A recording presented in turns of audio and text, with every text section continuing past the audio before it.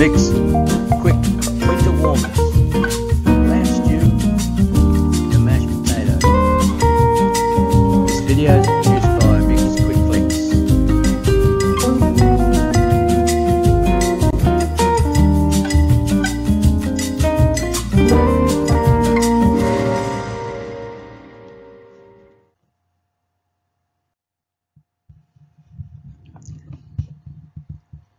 Winter is here.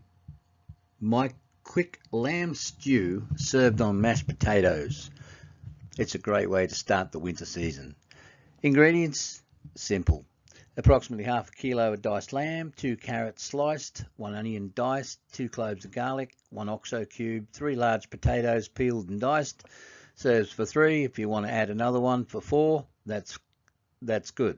Four potatoes for four people, one potato per person roughly six mushroom slice, 750 mils of beef stock, frozen packet of mixed veggies or any other veggies that you would like to add, salt and pepper to taste, and one red small capsicum, and whatever else you'd like to put into the pot.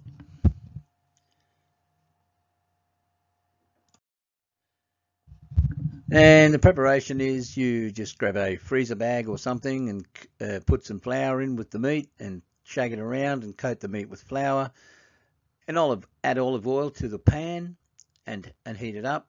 Add onion garlic and saute till soft. Add meat and garlic and brown the meat and add the stock. Toss everything into the pot bring to the boil and cover and simmer on a low heat for at least a couple of hours. And about 30 minutes before the stew's ready boil some water. Don't forget to add salt and add the potato and cook it until soft. Drain off the water, add butter and a splash of warm milk and mash the potato to make mashed potato. Then while that's sitting, then thicken the stew by adding one or two tablespoons of Gravox and corn flour with water. Make a slurry and add to the pot and stir the stew to thicken.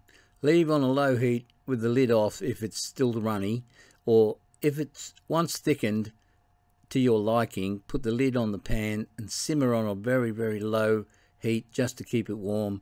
Taste and add more salt and pepper to taste. Then slap the mash and the lamb stew onto a plate. The lamb stew on top of the mash and job is done. All done.